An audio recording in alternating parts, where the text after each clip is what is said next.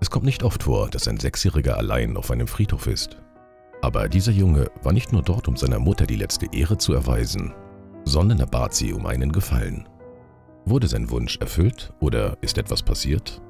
Schau weiter und lass es uns gemeinsam herausfinden.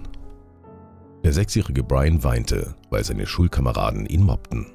Sie lachten, weil er schmutzig war und kaputte Schuhe hatte. Er wurde täglich deswegen gehänselt. Er wollte ja gar nicht so aussehen. Er wollte seine Schuluniform waschen, aber er hatte keine Seife oder Wasser. Dazu musste er warten, bis die Nachbarn ins Bett gingen. Brian ist der Sohn von Laura Edwards, die ihre Eltern mit 17 verlor. Weil sich niemand um sie kümmerte, musste Laura für sich selbst sorgen. Mit ihren wenigen Besitztümern ging sie zu Fuß nach Florida. Unterwegs war sie sehr erschöpft, weil sie schon lange nichts mehr gegessen hatte. Nach ein paar Schritten sackte sie zusammen und wurde ohnmächtig. Die wohlhabende Jessica Moore las sie bewusstlos vom Straßenrand auf und brachte sie in die Klinik, wo sie wieder aufwachte. Sie war von Lauras Geschichte sehr berührt, da sie selbst in armen Verhältnissen aufwuchs. Jessica hatte hart gekämpft, um Millionärin zu werden und einen hohen sozialen Status zu erreichen. Die Frau bot dem Mädchen eine Stelle als Köchin an. Jessica erlaubte ihr auch, in einem kleinen Haus am Rande der Stadt zu wohnen, das ihr gehörte. Als Laura zu arbeiten begann, wusste sie, dass es kein Fehler war, ihr einen Job zu geben. Sie war fleißig und ihr Essen schmeckte so gut, ja, sogar besser als in den exquisiten Restaurants der Stadt. Alles schien sich zum Guten zu wenden. Sie hatte einen Job und ein Dach über dem Kopf. Nach einem Jahr kehrte der Sohn des Hauses aus Frankreich zurück. Andrew war bezaubert von Lauras Schönheit. Leider hatte der 24-Jährige keine guten Absichten und wollte nur mit ihr schlafen. Er machte ihr falsche Versprechungen, obwohl er bereits verlobt war. Nach ein paar Tagen begann er, sie zu umschmeicheln. Jeden Abend kam er zu ihrem Haus, wo sie Zeit miteinander verbrachten. Laura verliebte sich in ihn eines Abends wollte er intim werden und sie willigte aus Liebe ein. Dann wurde sie schwanger und erfuhr überrascht, dass er eine andere Frau heiraten würde. Laura wurde klar, dass sie es Jessica erzählen musste. Obwohl Jessica ihr helfen wollte, erklärte sie ihr, dass sie ihr Kind allein großziehen müsse, da sie nicht zulassen würde, dass sie ihren Sohn heiratete. Andrew hatte dazu aber schon einen Plan. Seine Verlobte würde ihn besuchen kommen und er wollte, dass Laura die Stadt verließ. Er ging zu ihr und sagte ihr, sie solle nie wieder das Haus seiner Mutter betreten.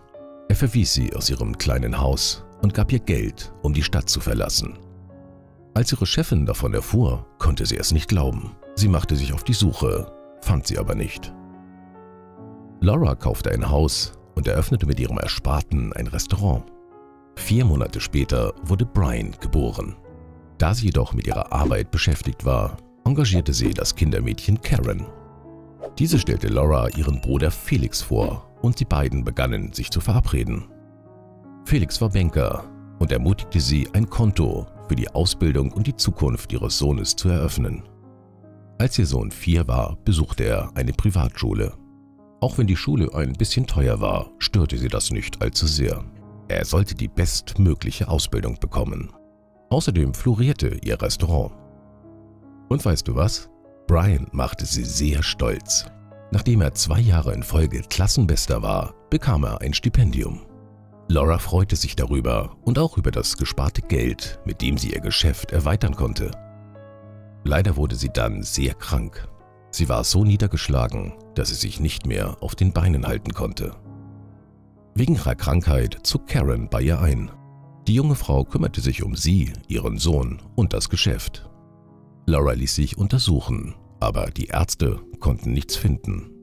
Leider besserte sich ihr Gesundheitszustand nicht, sodass sie Karen mit der Leitung ihres Unternehmens beauftragte und ihr auch Zugriff auf ihre Ersparnisse gewährte. Kurze Zeit später verstarb sie. Karen erzählte Brian, dass seine Mutter nur ein Nickerchen macht und man sie dorthin bringen würde, wo sie sich ausruhen könne. Während der Beerdigung konnte Brian nicht aufhören zu weinen. Also sagte Karen zu ihm, während sie ihm die Tränen abwischte, weine nicht kleiner. Ich habe dir doch gesagt, dass deine Mutter nur schläft, okay? Zwei Monate später wachte der Junge morgens auf und Karen war verschwunden. Sie war mit dem gesamten Geld und ihrem Bruder abgehauen. Nun kümmerte sich niemand mehr um ihn. Er überlebte nur durch das Essen, das er von den Nachbarn bekam. Weil er alles allein machen musste, kam er zu spät zur Schule. Deshalb schimpfte seine Lehrerin mit ihm und bemerkte auch seinen üblen Körpergeruch. Frau Edwards schrieb einen Brief an seine Mutter, in dem sie ihr sagte, sie solle sich um ihn kümmern. Eines Tages brachte sie ihn vor das Klassenzimmer, nur um ihm zu sagen, wie unordentlich er aussah. Sie wusste nichts von Brians hartem Leben. Er hatte keinen Zugang zu Elektrizität und konnte kaum Wasser bekommen. Obwohl sein Freund Billy wissen wollte, was los war, öffnete er sich ihm nie. Frau Edwards schickte immer wieder Briefe, erhielt aber keine Antwort. Die Situation frustrierte sie und sie schrie ihn an. Hey du, deine Mutter kann dich nicht leiden. Es ist ihr egal, dass du mit kaputten Schuhen und schmutzigen Klamotten herumläufst. Deshalb antwortet sie nicht auf meine Notizen. Sie gab ihm einen Zettel, auf dem stand, wenn du morgen nicht kommst, schicke Brian bitte nicht mehr zur Schule. Mütter, die sich nicht um ihr Kind kümmern können, sollten es nicht auf die Welt bringen. Als Brian die Schule verließ, buhten ihn seine Klassenkameraden aus und beschimpften ihn. Er rannte zum Grab seiner Mutter und schrie schluchzend, Mama, steh auf, du hast dich lange genug ausgeruht. Steh jetzt auf und sprich mit meiner Lehrerin. Erkläre ihr, dass ich schmutzig bin, weil du nicht zu Hause warst.